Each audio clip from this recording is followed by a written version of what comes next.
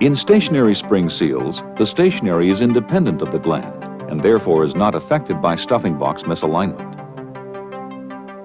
Face squareness is totally dependent on the perpendicularity of the rotary face to the shaft. It is impossible for an ordinary cartridge stationary seal to maintain rotary face squareness. Tightening the first set screw of a conventional lock ring permanently pulls the sleeve off-center, so the rotary face is not square to the shaft.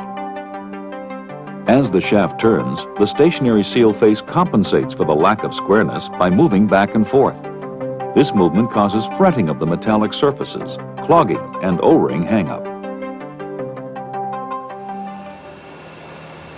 Unlike conventional stationary and rotary designs, the 155 includes a patented self-centering lock ring that establishes accurate rotary face squareness to the shaft.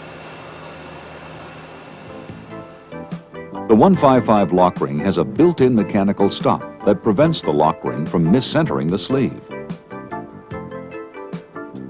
It features three centering set screws in addition to the standard drive screws.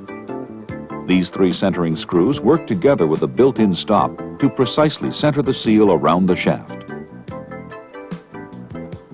When the first centering set screw is tightened, the bottom lip of the lock ring holds the body of the lock ring away from the sleeve.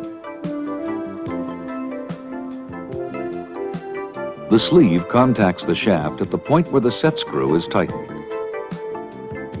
Tightening a second centering set screw deforms the sleeve enough to force it into a second contact with the shaft.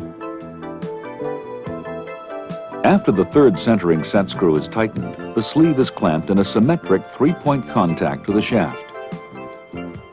This symmetric contact holds the sleeve concentric to the shaft. The shoulder of the sleeve is now perpendicular to the shaft. Consequently, the faces supported by the shoulder are also perpendicular to the shaft. And because the drive and centering set screws can be tightened in any order, installation is both accurate and simple.